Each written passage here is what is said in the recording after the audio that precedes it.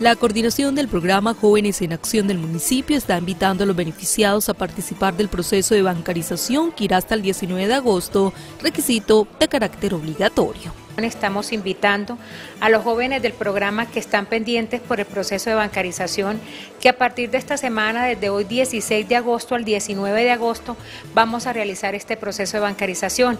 Esto va a estar, eh, se va a realizar en las instalaciones del Banco Agrario y es de carácter obligatorio que estos jóvenes participen en dicho proceso.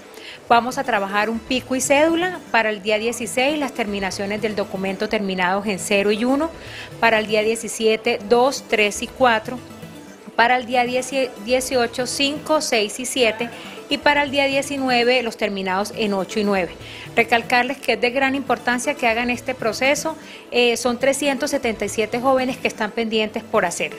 Con el proceso de bancarización se pretende hacer un pago más ágil y fácil para los beneficiados. El proceso de bancarización es los jóvenes eh, van a cobrar por una tarjeta débito que la da el banco. Eh, ellos deben pues hacer su proceso por el, el cajero del Banco Agrario y pues los que anteriormente cobraban por giro ya pues ya no lo van a poder hacer.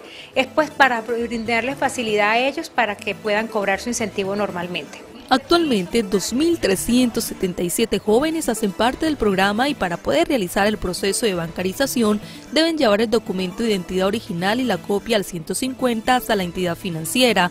De otra parte, se comunica a la comunidad que la coordinación del programa Jóvenes en Acción se trasladó al tercer piso de la unidad de víctimas.